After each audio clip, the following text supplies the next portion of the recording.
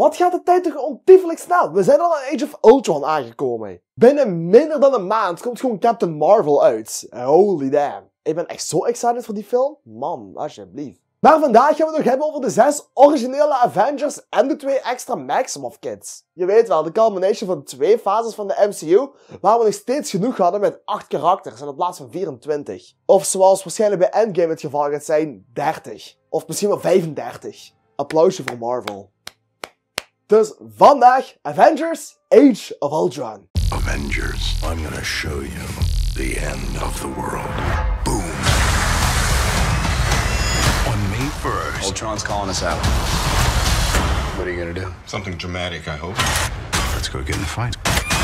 A new age begins. When the dust settles, the only thing living in this world will be me. Avengers Age of Ultron. Oké, dus Tony wil eigenlijk gewoon een panzer rond de wereld maken, zodat mensen van buitenaf, de aliens, Thanos, niet naar binnen kunnen komen. Hij wil de oorlog winnen nog voor hij gestart is. Zoals dat mooi gezegd werd door onze beste vriend Steve Rogers. Every time someone tries to win a war before it starts, innocent people die. Every time.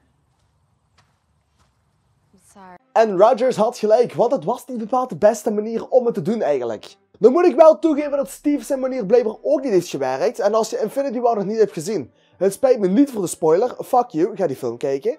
Verder op Age of Ultron. De verhaallijn van Ultron is cool en die werkt. Je snapt wat hij doet en waarom hij het doet. Het enige grote probleem met Age of Ultron was, is dat de marketing van de film vrij slecht was. Want in de trailers zagen we echt bijna een heel erg enge film. Met een ik niet hoe enge villain.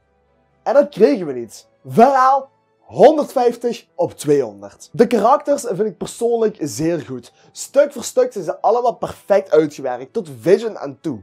Het enige grote minpunt hieraan is James Spader in Ultron. Ook weer door de foute marketing, waardoor dat wij in de plaats van een enge villain die iedereen nog jaren aan een stuk eng zou vinden, kregen wij een goofball. Geen grote, maar hij was het wel. Creepy as fuck in de trailer. In de film, not so much. Karakters 150 op 200. De pacing is zoals net bij als alle andere films in Marvel. Het is goed geplaatst. Het is niet langzaam, wat ik niet hoor bij een superheldenfilm, maar het werkt wel. De pacing is oké. Okay. As all things should be.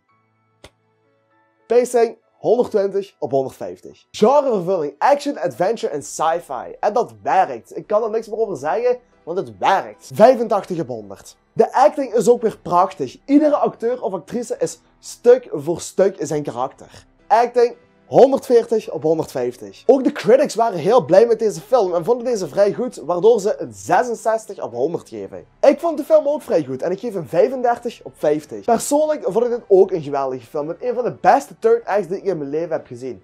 35 op 50, 3,5 ster. Dat brengt de totaalscore op 781 op 1000, oftewel 7,8 op 10. Hiermee staat Avengers Age of Ultron op nummer 6 in de Marvel Cinematic Universe Movie Review ranglijst. Bedankt voor het kijken en bye bye.